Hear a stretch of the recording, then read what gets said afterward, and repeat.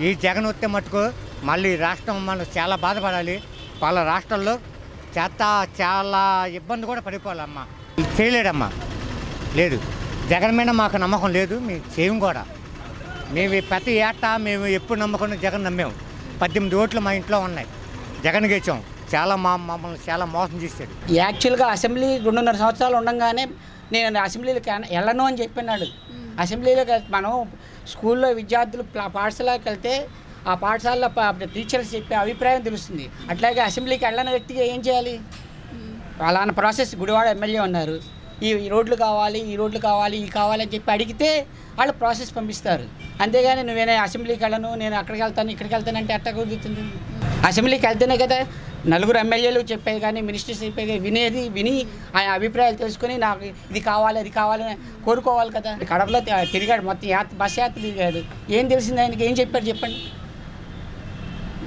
ప్రజలకి వినవించాలి కదా.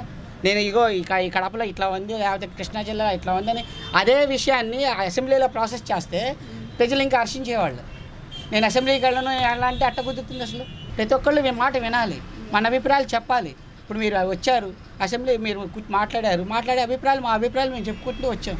ఆ అభిప్రాయాలు తెలుసుకోవాలి కదా రాజకీయ నాయకులు అన్న వాళ్ళు అంటే మనకి తండ్రి లాంటి వాళ్ళు తల్లి లాంటి వాళ్ళు వాళ్ళు. అటువంటి వాళ్ళు వాళ్ళు మనకేమి చెప్పు వాళ్ళే నేను చెప్పను నేను చేయను నేను చేయను అంటే రోడ్లు కావాలి. ప్రజలకంటే సరైన రోడ్లు కావాలి. డ్రైనేజీ విషయం అని చెప్పి మూడు మూడు మూడేళ్ళు పదిహేను సంవత్సరాల నుంచి డ్రైనేజీ విషయం కావాలి డ్రైనేజీ విషయం కావాలని చెప్పి అండర్ డ్రైన్ కావాలని చెప్పి కోరుకుంటున్నాడు.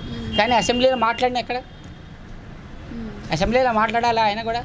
మనకి మేము మూడు మూడు- ఐదు పదిహేను సంవత్సరాలు ఉంది. ఐదు మూడేళ్ళు పదిహేను సంవత్సరాల్లో ఐదు సంవత్సరాలు నాకు అండర్ డ్రైన్ కావాలి అండర్ డ్రైన్ కావాలి తర్వాత పేదలకి నీళ్ళు ఇళ్ళు ఇల్లు కావాలి అవన్నీ కావాలని చెప్పి కోరుకున్నాడు. కానీ అది అక్కడ అసెంబ్లీలో పాస్ చే అసెంబ్లీలో పెట్టి ఎమ్మెల్యేగా ఎన్నికైన వ్యక్తి మా గుడివాడ నియోజకవర్గం అభివృద్ధి కార్యక్రమాలు కావాలి ఈ కావాలి ఈ కావాలి వాళ్ళకి చెప్పాలి కదా. చెప్పితే కదా వాళ్ళు ఎవరైనా చెప్పేది. మనం పాఠం అర్థం కాలేదు. ఆ పాఠం అర్థం కాకపోయినప్పుడు మాస్టర్ గారిని వెళ్ళి దగ్గరికి కూర్చుని అడగాలి.